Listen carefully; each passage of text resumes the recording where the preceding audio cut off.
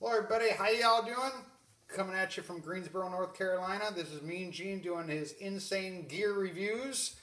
Uh, today I have with me the Mesa Boogie Triple Crown and its matching mini recto cabinet. They got a variety of cabinets that will pair with this head, but I chose this one for its compact size, mainly because it makes it a really good gig mobile for uh, for what I do. So uh, got my trusty Baker B1 with me, my gravity pick, lava cable, ready to rock. So uh, let me give you a quick rundown on how this baby's laid out.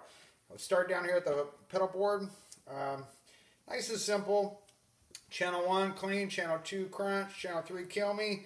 We got a reverb, which would I like about it is it has three reverb level knobs, one for each channel. So uh, clean channel make it a little more lush. Uh, channel 2, I'll give it just what I call like an AC-DC reverb, not too much. And then channel 3, the high gain channel will take almost it all the way out just to keep things nice and tight uh, without getting kind of washed out. So um, real versatile amp. A lot of little, uh, they got a tweak switch on each channel just to refocus the gain structure. I'll set the clean channel slightly hairy, kind of like I like some some of the older Fender amps when it comes to the clean channel because it gives it a little bit of hair. Um, so I'm not going super clean, I'm going slightly dirty. Channel 2, I just go for a good crunch. Channel 3, clobber me. So anyhow, uh, I'll start with channel 1. Got the reverb on, on about 5. Click.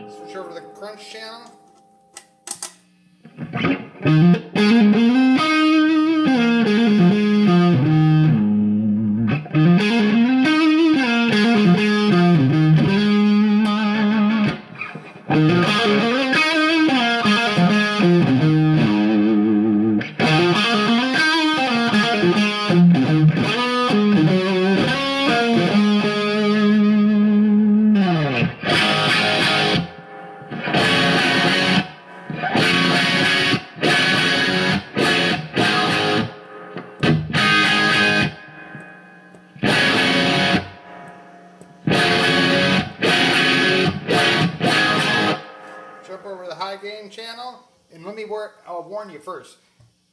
The Triple Crowns have the highest gain structure of any Mesa Boogie yet to date. So any guys that love, like say like the Rectifier series, you're to love this amp.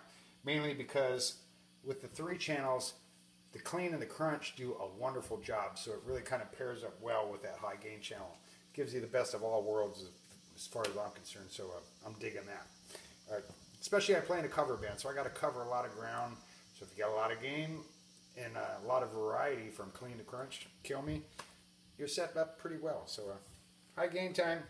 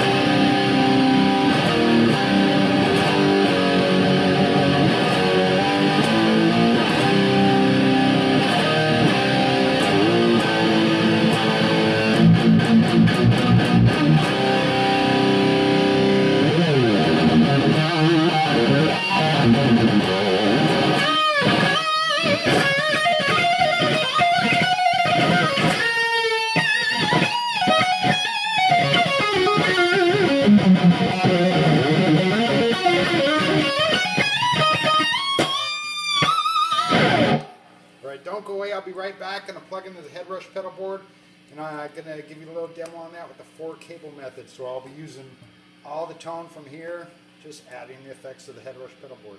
So be right back. Don't go away.